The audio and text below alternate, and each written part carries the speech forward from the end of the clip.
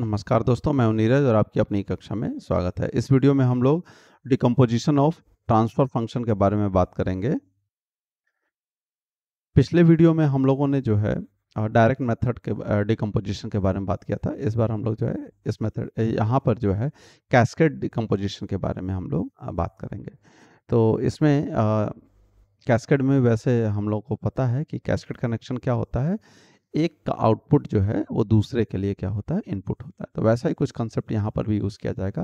देखिए, लिखा गया when transfer function is in factored form then cascade decomposition is use first make the transfer function in factored form then draw the transfer function of east part and combined the parts by unity transmittance insert between each S V D S का मतलब आप लोग पिछले video में भी हम लोगों discuss किया था स्टेट वेरिएबल डायग्राम अब उसके लिए हम लोगों ने एक क्वेश्चन ले लिया है, ये, और इसका हम लोग फ्रैक्शन कर लेंगे। तो फ्रैक्शन करेंगे तो डिनोमिनेटर तो ऑलरेडी आपका न्यूमरेटर देखेंगे तो एस प्लस सिक्स है। डिनोमिनेटर को हम लोग दोनों रूट्स निकाल के S plus three plus S plus two कर लेंगे।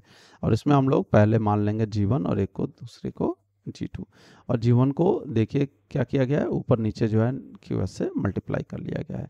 और उससे पहले जो है हमने क्या किया है? ऊपर नीचे एस से डिवाइड किया है। तो जब डिवाइड करोगे तो one plus three S two power minus one आ जाएगा डिनोमिनेटर में। न्यूमिनेटर में one plus six S two power minus one अब उसके बाद जो है यहाँ पर वाई एस और यू एस दोनों को अलग अलग लिख लिया है।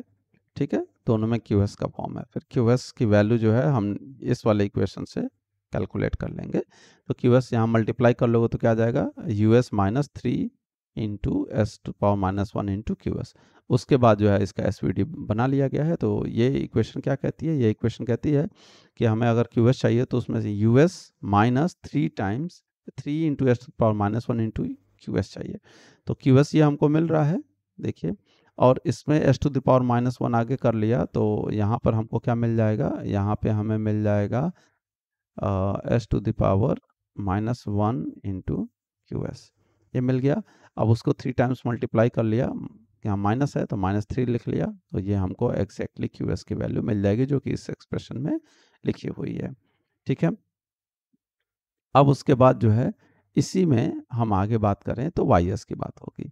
तो वाई एस क्या कहता है? वाई एस ये कह रहा है, इस हिस्से में कि वाई एस जो है क्यू एस अगर आप इसी को थोड़ा एक्सपेंड करेंगे तो आ जाएगा Q S plus six S two the power minus one into Q S तो ये कह रहा है कि क्यू एस होना चाहिए, ये हमारा क्या है, एक तरफ़ से कह सकते हैं, ये हमारा वाई एस ठीक है ना? तो क्यू एस होना चाहिए one times plus six into S two power minus one into Q S होना चाहिए। तो सिक्स इंटू ये Q S two power minus one into Q S है, उसमें सिक्स से मल्टीप्लाई कर देंगे तो हमें मिल जाएगा। और इन दोनों को जोड़ेंगे तो यही एक्सप्रेशन हमें मिलेगा।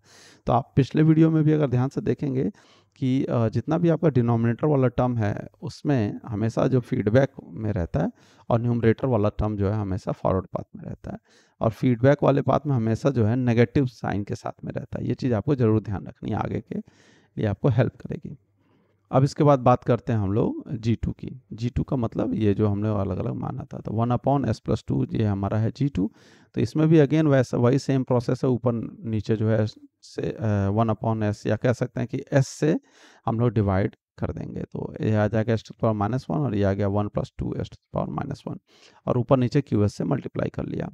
फिर यहाँ पर आपको क्या मिलेगा? Y S is equal to S पर minus one into Q S और U S is equal to फिर से ये डिनोमिनेटर वाला term one plus two S to power minus one into Q S फिर यहाँ से हम क्यू एस निकालेंगे तो आ जाएगा U S minus two S to power minus one into Q S फिर इसका हम लोग एस वी डी बनाएँगे।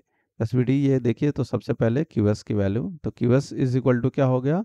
U S U S one times है minus two S to power minus one into Q S तो देखिए, यहाँ पे two S to power minus one करने के लिए ऑब्वियस सी बात है, हमको यहाँ पे S to power minus one आना चाहिए तो इंटरगे एक बार इंटरगेट करेंगे और उसमें माइनस टू से मल्टीप्लाई करेंगे तो हमें क्यू एस की वैल्यू मिल जाएगी। और यहाँ पर आप वाई एस की बात करें तो S to power minus one into Q S है तो ये हमको ये वैल्यू यहाँ पे मिल जाएगी, जो कि यहाँ ऑलरेडी हमको दिख रही है। अब क्या करेंगे, दोनों एक्सप्रेशन को आपस में कंबाइन कर देंगे और उसके लिए क्या कहा है कि एक का आउटपुट जो है दूसरे के लिए इनपुट है तो एक का आउटपुट ये पूरा हिस्सा आप देखें तो ये वाला एक्सप्रेशन है। और इसका इनपुट जो है हम यहाँ देना है तो हम क्या करेंगे, यहाँ वन ट्रांसमिटेंस से मल्टीप्लाई करेंगे। तो देखिए यहाँ पे वन का यूज़ किया गया है, ठीक है? तो ये हमारा है एक्स वन मान लेते हैं और ये हम इसको मान लेते हैं एक्स टू तो ऑब्वियस बात है, ये अगर एक्स वन है तो इसको इंटीग्रेट किया है, तब हमें एक्स वन मिला है तो यानी कि ये एक्स वन डॉट होगा। वैसे ये एक्स टू है तो ये हमारा एक्स टू डॉट होगा। अब हम यहाँ पे एक्स वन डॉट और एक्स टू डॉट दोनों की इक्वेशन जो है इस एस की मदद से हमें मिल जाएगी। तो एक्स वन डॉट की वैल्यू क्या दिखा रहा है? ये कह रहा है कि ये ये जो एक्सप्रेशन है दिस ये एक्सप्रेशन का मतलब क्या है? यहाँ पे ध्यान से देखिए तो आपको यहाँ पे आ, मिलेगा। यहाँ पे अगर ध्यान से देखें तो आपको पहले तो ये वाला इनपुट आ रहा है तो ये कितना है?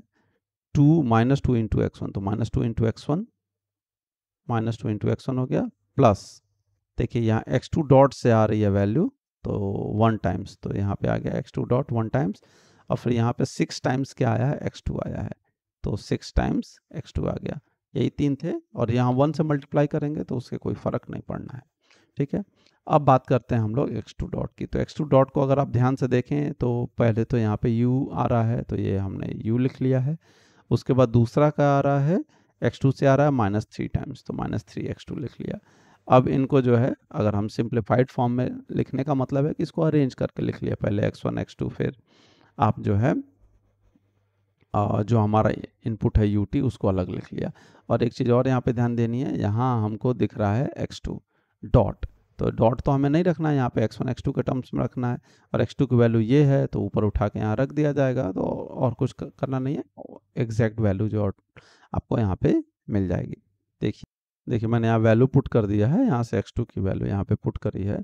तो आप देखेंगे तो टू एक्स वन माइनस का यहाँ रहेगा ही और यहाँ माइनस थ्री एक्स टू आएगा, यहाँ प्लस सिक्स एक्स टू है तो कट के कितना आ जाएगा? प्लस थ्री एक्स टू आ जाएगा प्लस यू आपको यहाँ पे मिलेगा ही। तो इस तरीके से एक्सप्रेशन मिल गया है। अब आपको यहाँ पे क्या करना है? इनको जो है मैट्रिक्स के फॉर्म में रिप्रेजेंट कर देना है। तो मैट्रिक्स के फॉर्म में रिप्रेजेंट करेंगे तो यहाँ एक्स वन माइनस टू यहाँ पे प्लस थ्री आ जाएगा। और यहाँ पर क्या है? एक्स वन का टर्म ज़ीरो है तो ज़ीरो और माइनस थ्री आ गया। X one X two plus दोनों में u और u आपको यहाँ पे दिख रहा है। तो वन इंटू वन कर लिया। आउटपुट आप देखेंगे तो आउटपुट इक्वेशन क्या मिल रही है? आउटपुट इक्वेशन जो है एक्स वन के बराबर है। आप ध्यान से देखिए। Y इज़ इक्वल टू क्या है आपका? X1 है।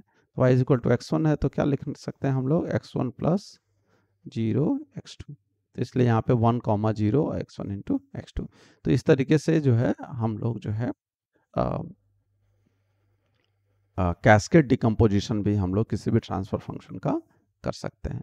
तो आशा करते हैं कि आपको वीडियो पसंद आई होगी। अगर वीडियो पसंद आई है तो अपने दोस्तों के साथ शेयर करें और अगर चैनल पर नए हैं तो चैनल को सब्सक्राइब कर लें। धन्यवाद।